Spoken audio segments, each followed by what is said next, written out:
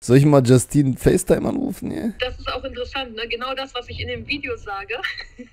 ja, ich weiß, ich wollte es nicht sagen. Wenn das dafür sorgen kann, dass du dann irgendwie dein Leben freier leben kannst und glücklicher bist, Digga, dann ist doch geil. Ja, ja, weil jeder weiß, ich rede ununterbrochen, ich bin extrovertiert, ich habe Empathie, die Leute fühlen sich verstanden und irgendwo auch gesehen. Deswegen muss ich es eigentlich machen. Weißt du, weil ich ja. als Frau da stehen kann und, ist, und voll die Wand bin. So. Mir kann keiner was. Dass ich dich äh, getroffen habe, weil du hast mich tatsächlich krass geprägt in den letzten Zeit. Ich Allein, dass es, dass hier keine vernünftigen Rollläden gibt in Mexiko. Dass es, glaube ich, richtig gut ist, eigentlich, dass ich ausgezogen bin oder erstmal raus bin aus der Wohnung, auch für unseren persönlichen Vibe so.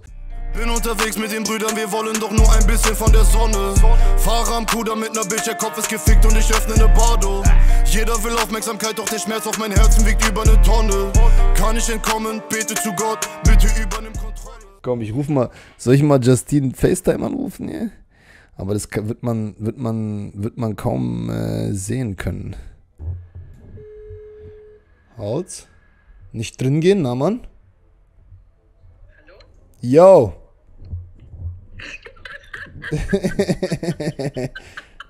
Was geht? Ah, ich guck gerade in dein Live. Guckst du gerade, wa?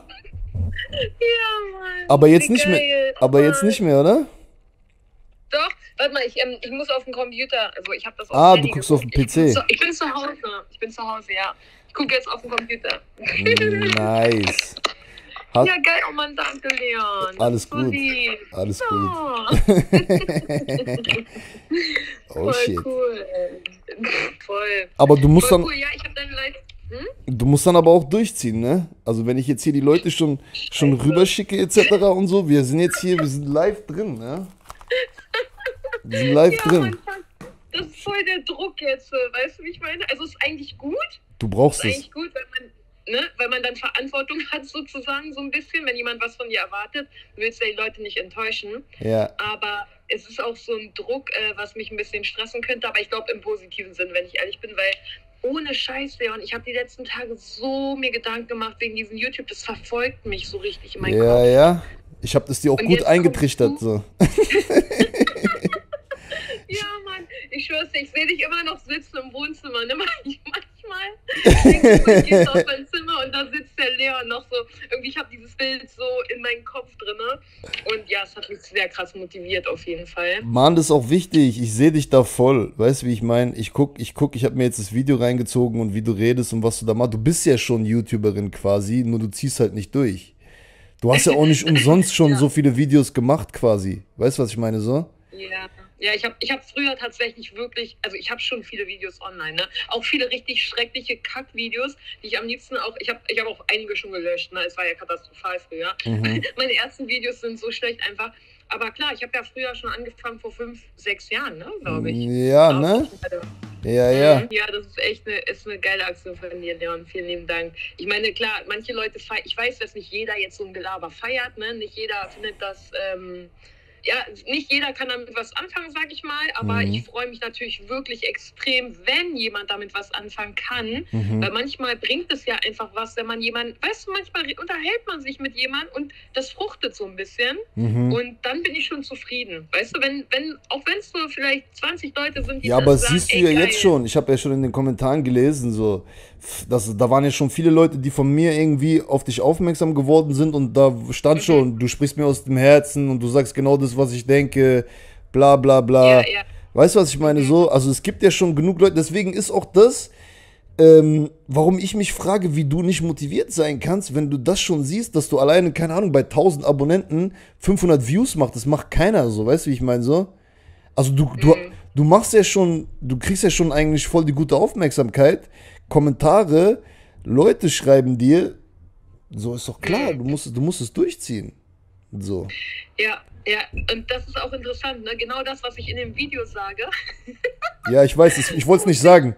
Ich wollte es nicht sagen. Nee, nee, aber nee, nee, ich bin ja auch so, guck mal, das, was ich sage, ich bin mir bewusst dessen, ne? aber mhm. ich struggle ja selber auch noch. Also ich bin ja jetzt auch nicht schon ausgelernt oder so, was man sowieso nie ist. Ne? Yeah. Aber bei YouTuber sein ist halt meine größte Challenge. Das ist die aller, allergrößte Challenge für mich. Und ich habe vieles schon so selber ne, mit mir gemacht und irgendwie auch für mich erreicht, sage ich mal, manche Ziele, aber dieses YouTube-Ding, ach, das ist Das macht dich halt wirklich frei. Weißt du, was ich meine? So, das passt halt Ja. auch voll zu deinem Shit, so. Weißt du, was ich meine? So, ich meine, du gehst ab und zu gerne mal mit einem Van raus und pennst irgendwo. Du, du, du, Mhm. du reist auch gerne. Du bist gerne frei auch. Du willst gerne nicht irgendwo gebunden sein, habe ich auch das Gefühl. Das passt halt perfekt, wenn du dein YouTube-Shit machst und die Leute einfach auf der Reise mitnimmst. Und wenn du das Ja. irgendwie zu deinem Job machen kannst und damit irgendwie Geld verdienst, dann, dann ist es halt nice, weißt du, wie ich meine? Weil das ist ja dann, dann kannst du quasi mit dem, was dir Spaß macht, halt auch Money verdienen. Du musst halt nur Ja. mal den sauren Apfel beißen und dir halt dann diese Struggles geben mit Videoschneiden und Programme etc. und so. Aber wenn das dafür sorgen kann, dass du dann irgendwie dein Leben freier leben kannst und glücklicher bist, Digga, dann ist doch geil. Ja, auf jeden Fall. Also ich, ich sehe mich ja selber auch da drin, vor allem weil auch Freunde von mir oder Bekannte mich immer supporten ne, mit der Sache. Jeder hat bis jetzt gesagt, Justine macht das. Also es gab, glaube ich, keinen, der einmal gesagt hat, Justine macht das nicht. Aha. Weißt du, wie ich meine? Ja, das ist ja. eigentlich krass. Ja, Ja, weil jeder weiß, ich rede ununterbrochen, ich bin extrovertiert, ich habe Empathie, die Leute fühlen sich verstanden und irgendwo auch gesehen und äh, können sich mit mir connecten, weißt du, wie ich meine? Ich bin ja auch sehr äh, vertrauens... Ja, du bist dafür gemacht, Also glaub, für diesen ganzen Scheiß. Das, was ich halt auch mache, so. YouTuber, Podcast kannst du vielleicht machen. Du könntest sogar auch Interviews cool machen mit anderen Leuten und so ein Shit. Weißt du, wie ich meine? So. Einfach halt Vibes. So einfach, weil du kannst halt. Das Wichtigste ist reden. Und das kannst du. Mhm. Entertain und reden. Das ist so das Wichtigste, weißt du? Und das hast Ja, du ja. von Haus aus schon am Start. Ohne dass du das groß üben musst oder so. Ich genauso. Und deswegen sind wir da, das ist auch irgendwo unsere Verantwortung, weißt du? Weil viele strugglen bei dem Thema und wir halt nicht. So, und deswegen Mhm. müssen wir es halt nach außen tragen auch. Denke ich halt, ne?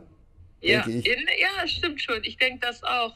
Eigentlich ist es schon, du hast es gut auf den Punkt gebracht, dass wenn man das doch fühlt, dass man, dass es seine Gabe ist, ist es eigentlich nicht korrekt, wenn man das dann Ja. nicht macht. Wenn Ja. man doch helfen könnte. Weißt du, wie ich meine? Ist so. Und aber man, und vor allem, weil du bist jemand, du hast ein hartes Fell und ich auch. Ich war, ich war zehn Jahre auf Mallorca Promoter. Also ich kann auch, wenn hier Hate kommt und Leute sagen, was für ein Bullshit labert die alte Verbrauchte Ja, oder so, ja, das ja, geht mir rein und raus. Es interessiert mich einfach nicht. Und das Voll. meine ich wirklich ernst. Warum? Weil ich so viele Jahre auf Malle war und jeden Tag mit besoffenen Männergruppen zu tun hatte, die irgendeine Scheiße gelabert haben.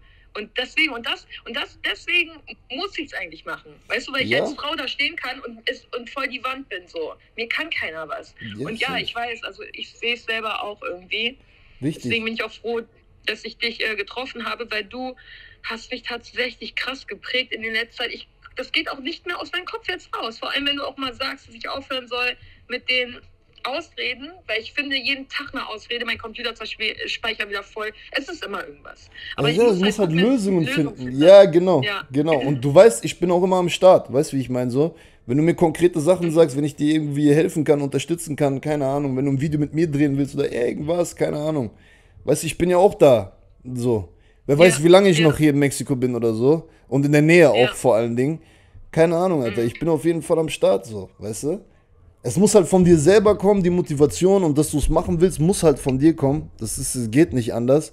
Aber bei allem Ja, anderen äh, kann man auch immer helfen und unterstützen, so weißt du, wenn du eine Frage hast, auch vor allen Dingen und so. Ich habe den Shit da jetzt auch schon ein bisschen länger gemacht und äh, Ja, ja, so viel ist es nicht. Weißt du, wenn du dir einmal das beigebracht hast, wie du deine Videos vernünftig bearbeiten kannst. Ich bin halt auch kein Fan davon, jetzt zum Beispiel zu sagen, so, such dir jemanden, der deine Videos schneidet zum Beispiel.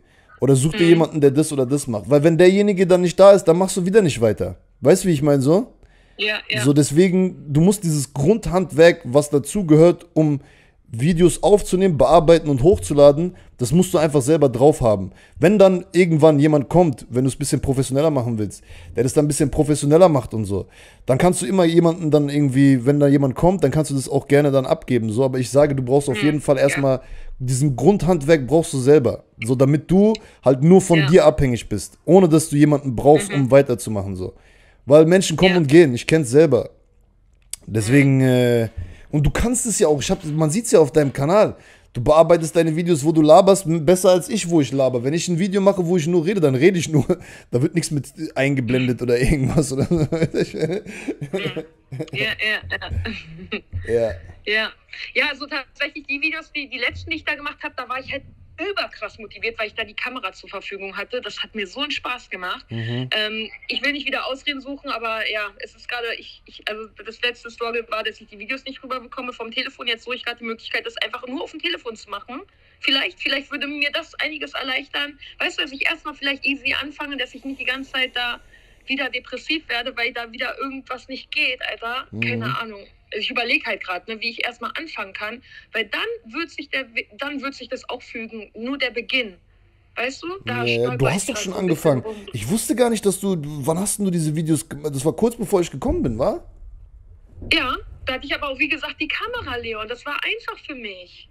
Da, ich, da hat alles super reibungslos geklappt. Ich habe Video aufgenommen, mit der Cam reingesteckt, äh, geschnitten. Jetzt hatte ich wieder Probleme, dass das Bild irgendwie nicht übertragen wird. Dann der irgendwas. Ach, irgendwas ist halt immer, keine Ahnung, Alter. hätte, ich jetzt, hätte ich jetzt so eine, ich sag's dir wirklich, mich würde das so krass motivieren, hätte ich zum Beispiel jetzt äh, nur eine vernünftige Festplatte, die geht.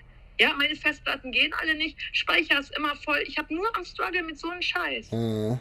Früher habe ich geschnitten, das hat gehakt, Leon, weil ich keinen Speicher hatte. Weißt ja. du, ich hatte kein Geld zum Upgraden. Dann habe ich meinen Computer abgegradet, das war schon. Also so eine Sache halt. So ja, aber das ist halt, das gehört dazu. Weißt du, was ich meine? So, das ist halt, das ist halt kein wirklicher Stein, der in den Weg gelegt wird. Ein Stein, der dir in den Weg gelegt wird, ist, wenn du irgendwie, keine Ahnung, deine Hand brichst und dann nicht mehr irgendwie deine Hand nicht mehr bewegen kannst, so, weißt du? Diese kleinen Technik-Struggles, so, da musst du halt durch. Da musst du halt einmal durch, so. Dann guckst du, halt überleg dir halt für jedes, schreib dir, ja, du, du, weißt ja, was für Probleme du hast und dann überlegst du dir für jedes Problem einfach eine Lösung. weißt du, ich meine so? Ich habe ja, das hab auch gehabt. Die Sau, ich krieg dieses scheiß Bild nicht rüber. Ich habe schon ein Video fertig. Ja, wir quatschen später nochmal. Ich bin noch live ja. gerade. Achso, sorry. Ja, sorry. ich ich rufe so, ich, ah, ja. mach dir mal klar, ja, was, dein, was wirklich dein Problem ist, so, und dann, dann kannst du mir entweder eine Sprachmemo machen oder ich rufe dich nochmal an einfach. Ja, ja, ja, genau, da reden wir nochmal drüber. Sorry, ich habe das jetzt voll verpeilt. alles cool. So alles cool, alles cool, alles cool. Aber wie gesagt, ja, ich, okay. ich, ich würde dir ans Herz legen, äh, zieh es auf jeden Fall durch und keine Ahnung, dann schneid halt mit dem Handy, wenn du es unbedingt mit dem Handy schneiden willst oder besorg dir eine Kamera, leih dir eine Kamera aus, Digga, gibt es 100% auch Kameraverleihs in Mexiko. Es gibt für alles eine mhm. Lösung. Für alles. Mhm. So.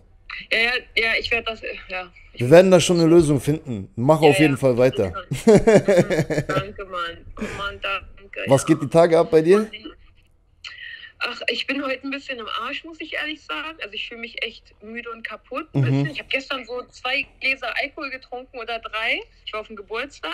Ja. Ey, übrigens, Leon, hast du gestern gesehen? Äh, sorry nochmal, ganz kurz. Ich wollte, ich habe dir auch gestern ähm, diese, hast du gesehen, die Aussicht bei Jenny, wo die da wohnt, in Puerto Cancun, diese yeah. fetten Hochhäuser? Ja. Kostet 22.000 die Miete übrigens, wollte ich hier nur nochmal sagen. Nur mal so. Es geht voll, ja, ne? Ist ein Tausender schon dann, ne? Mehr mhm. als, mehr als 20.000 will ich nicht ausgeben, sage ich dir ehrlich. 20.000 20.000 ne? ist sogar schon zu viel. Ja, das ist der Unterschied. Also ich liebe Playa del Carmen, ja, ich liebe das, aber ich gehe halt auch voll gerne hin. Ich weiß halt nicht, wie es da ist zum Leben, weil ich ja. bin da richtig in einem Touri-Vibe. Ja. Und das mag ich, aber ist, ich weiß nicht, wie es auf Dauer wäre. Ne? Ja. Und Cancun, das ist schon sehr krass. Ich merke die Energie immer, wenn ich hier bin. Es ist halt no Hustle. normal so. Ja. Ja, das ist anders. Das ist ja. Anders. Ja. ja. Mal schauen. In, guck mal, in, in Playa gehe ich einmal die Kinder lang und treffe zehn Leute. Bin ja, komplett, same. Ich, also, ich war heute einmal im Gym, ich habe ich hab schon fünf neue Leute kennengelernt, so. Ich meine, ich habe ja auch. Bock darauf, so, ne? Ein paar Amis zu sehen, ein bisschen zu quatschen, ein bisschen zu connecten und Voll. so. Ja, vielleicht ein, mhm. zwei Monate und dann komme ich back.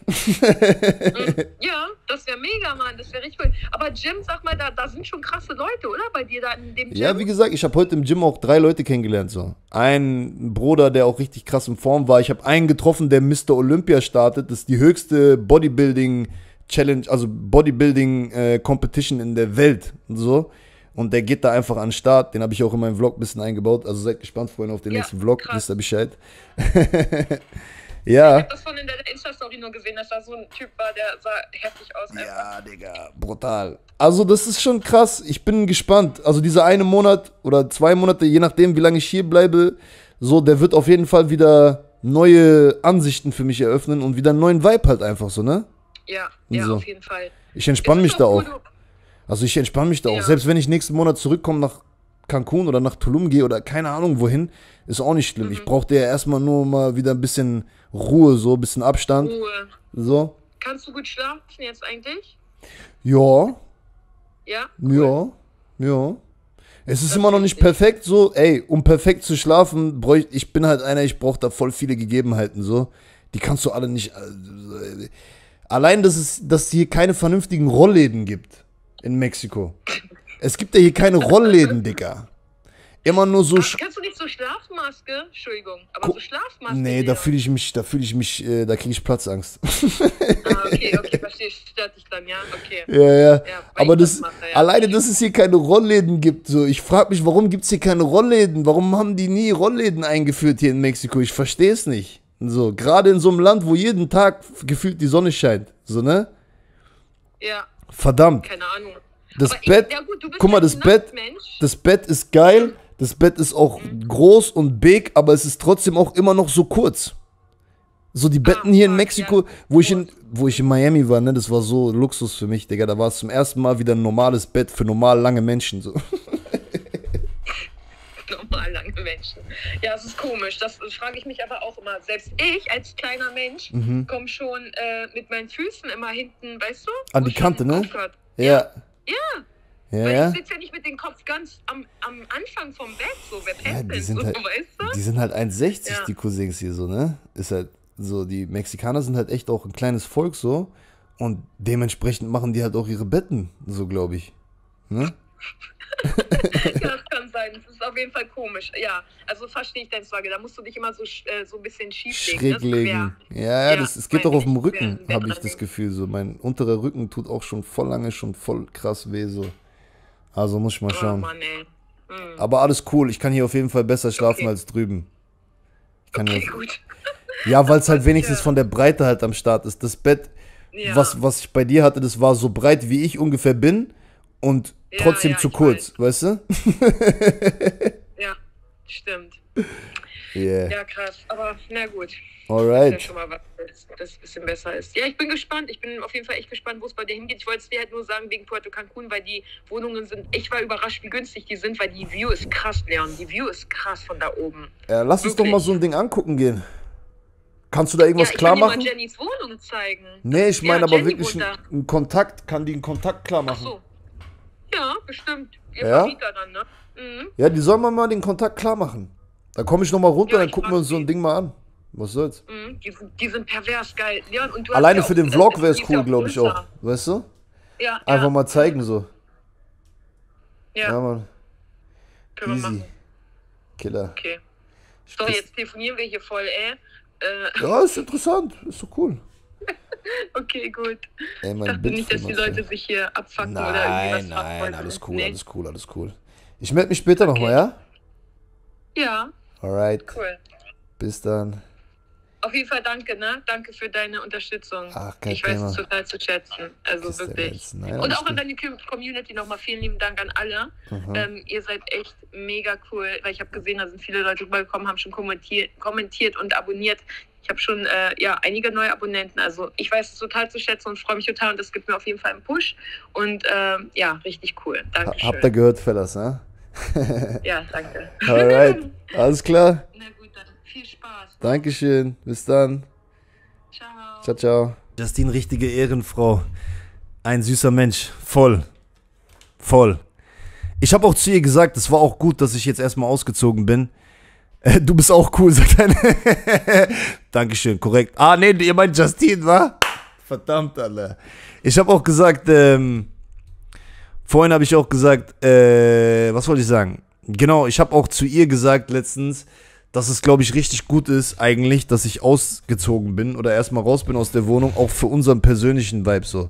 Weil ich bin jemand, wenn ich mit jemandem zusammen wohne, das äh, läuft bei mir nicht geil und ich bin dann halt auch manchmal nicht so korrekt, weißt du, wie ich meine? Einfach, weil ich genervt bin, dass ich nicht alleine bin und äh, das lasse ich dann manchmal bei der Person auch raus und das feiere ich halt nicht, gerade bei Menschen, die mir halt krass am Herz liegen. Deswegen unserer Freundschaft und unserem, ja, unserer Freundschaft vor allen Dingen kommt es auch zugute, dass ich jetzt erstmal wieder hier ein bisschen alleine bin. So. Yes. Wollte ich auch nochmal kurz hinzufügen hier an der Stelle.